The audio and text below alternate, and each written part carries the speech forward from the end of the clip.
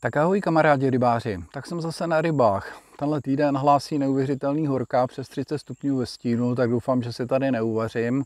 Voda je jako olej, moc nefouká, doufám, že to aspoň přinese nějaký ty letní bouřky, aby se to trošku skarbovalo. Doufám, že přijdou i nějaký kapříci, aby se vám něco mohlo ukázat, ale hlavně chci natočit video o zavážení, jakým způsobem, co vozím na lodi, jakým způsobem pokládám, pak se podíváme o nějaké montáže a další věci, tak doufám, že to klapne a že tyhle videa pro vás budou inspirativní. Tak se mějte, čau!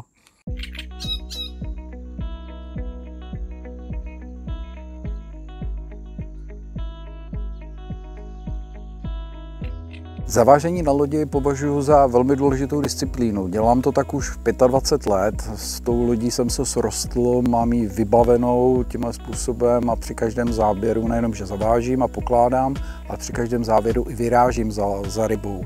Nestahuju rybu 200 nebo 250 metrů ze břehu. Je to jednak velmi efektivní, je to mnohem rychlejší a myslím si, že to je také šetrnější vůči rybě.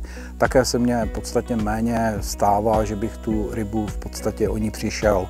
Takže to jsou důležité věci, ale k tomu je potřeba mít nějakou výbavu a znát některé základní zásady. A o tom bych rád v těch následujících videích mluvil. A plus samozřejmě, jak vypadá taková koncová montáž, kterou právě do vody pokládám, při, nebo při zavážce, kterou používám. Jsou to v podstatě dvě základní, takže vám je ukážu i řeknu vám i důvody, proč tu montáž tím tím způsobem stavím. Tak doufám, že to pro vás bude inspirace.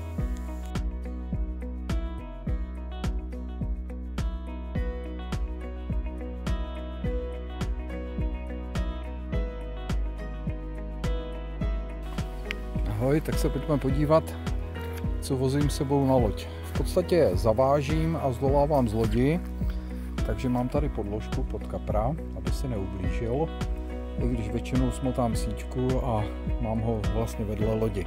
Tak se pojďme podívat, co tady v lodi vlastně všechno mám.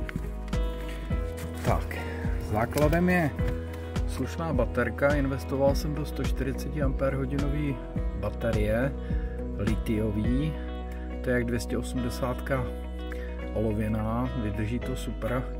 Když mám 4 pruty, tak najezdím někdy denně 4-5 km a když jsem 14 dní na rybách, tak to máte 70 km a ta baterka to vydrží. Při 16,7 V ten motor úplně lítá. K tomu jsem si pořídil trošku silnější motor, standardní, 70 librový, ne každý k těm litiovkám funguje. Samozřejmě klasický echolot, rád využívám Leverance se sondou a tak dále.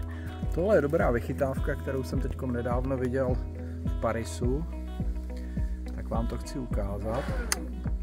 Takovýhle pěkný kryt, když zavážíte, nikdy si nestáhnete vlastce, chrání vám to vrtuly, když najdete třeba do trav nebo tak. Fakt je to do, dobrá vychytávka.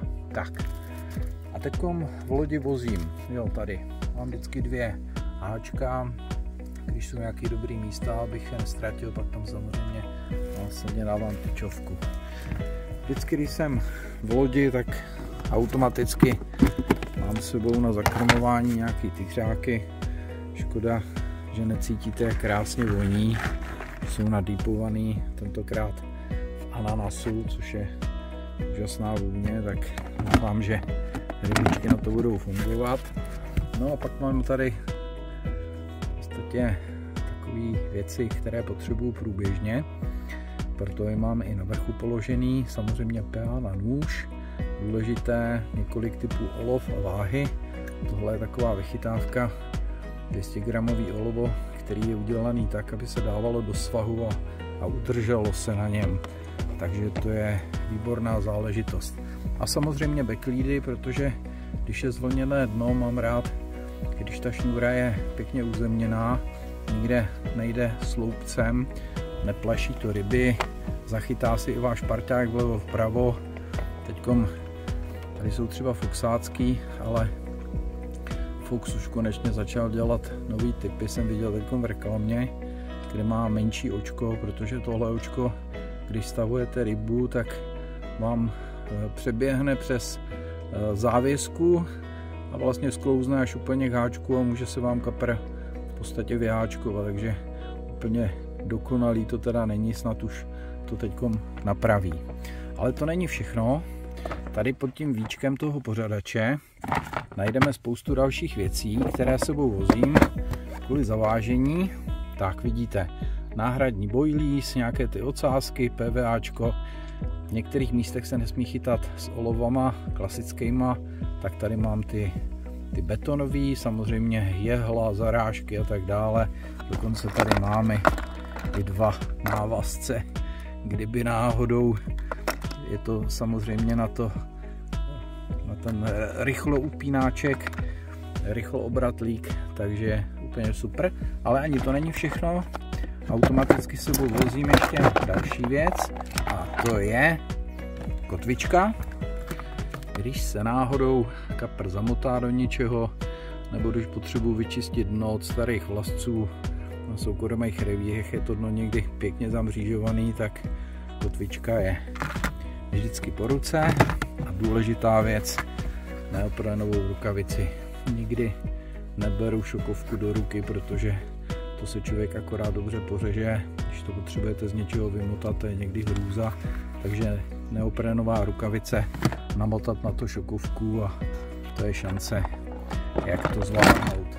Tak, takovýhle jednoduchý organizér a, a to přitom chytám vlastně na úplně pohodové vodě, kde, kde jsem do nějakých 250 metrů, což není žádná hrůza, ale když jezdím někdy 500, 600, 700 metrů na některých zahraničních revírech, tak to prostě ještě mám k tomu další věci, boilies, samozřejmě klasickou kotvu na zakotvení lodi a, a další drobnosti, aby se lov zpříjemnil. Tak, tak tohle to jsou věci, které sebou brává.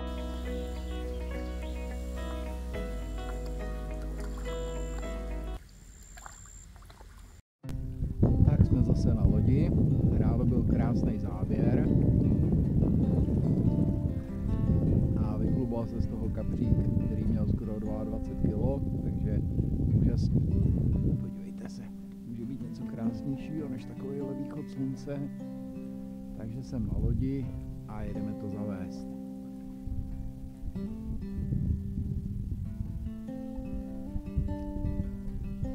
Hloubka po celém jezeře je zhruba okolo těch 5 metrů. Tady jsme už v té zadní části, zhruba těch 180 metrů od místa, kde chytám. A už se začíná pomalinku zvedat. Mám tady jedno takové místo, tak to je ono. Echolot ukazuje 3,8, takže 3,7, výborně. Jsme u toho místa blízko, takže se pěkně otočíme. Tady bojky nepoužívám.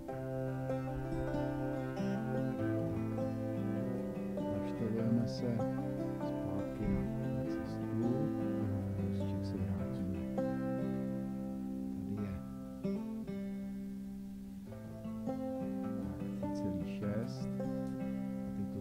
začne klesat. Chci to položit někde okolo těch 4 metrů, 3,9, 4 metry.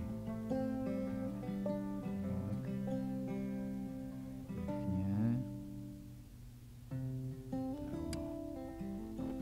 Tak, všechno je nachystané. Vezmeme pro do ruky.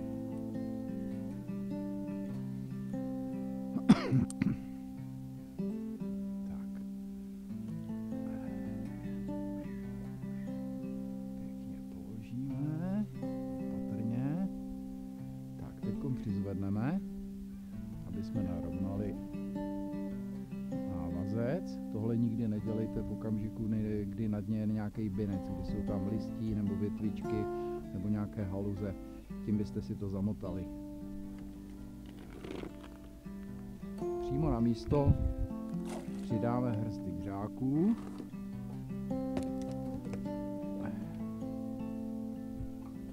A pak rozházíme okolo několik půleček. Tak, to stačí. Chytáme velké kapry, nechceme sem natáhnout cejny a podobné ty. Tak, vidíte? Tady ty značky, teď když jsem vypnul motor, tak je vidět, že tady je voda pláry. Jsou i ve sloupci a jsou i hůna. A vypadá to na pěkné ryby. Takže to by mělo zafungovat. Tak a jedeme zpátky. Napřed vypnu echolot. A při zavážení vždycky si položím prutu takto na kolena, chytnu cívku. Tímhle způsobem je to krásně zafixované, přitom držím, aby se vlastně odmotával velmi pravidelně. Nepotřebujete na to žádného parťáka, nepotřebujete na to nic. A teď, když se rozjedu, tak už se dívám jenom a jenom dopředu. Vidíte vzadu, je vidět auto, předtím je stojan. Kdyby byla noc, tak je tam samozřejmě puštěné světýlko. Takhle se pěkně našteluji. A abych jel rovně, když třeba fouká z boku vítr, tak se zaměřím nejenom na stojan, ale na nějaký, na nějaký bod za ním, abych viděl, jestli ujíždím doleva nebo doprava. Zbytečně se neotáčím, je to na nic a pozoruju čistě jenom vodu dopředu. Tímhle způsobem se vám podaří zavést ten prut zpátky naprosto narovno a nebudete mít žádný problém s vypínáním vlasce anebo s nějakým pytlem, který se vám vytvoří v okamžiku, kdy třeba fouká. Teď jsou podmínky téměř optimální, takže je to samozřejmě jednoduché, ale když začne foukat, až taková legrace to není. Tímhle způsobem zabezpečíte perfektní závoz a nemusíte vlasec ani příliš šponovat. Tak když potom dojedu na břeh, to krásně srovnané, dám to do stojanu a našteluji si tvrdost brzdy. Tak většinou dávám hodně, hodně na tvrdo brzdu, výborně.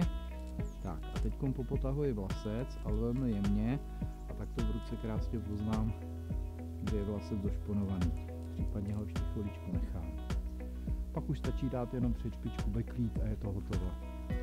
A ryba můžeme dál.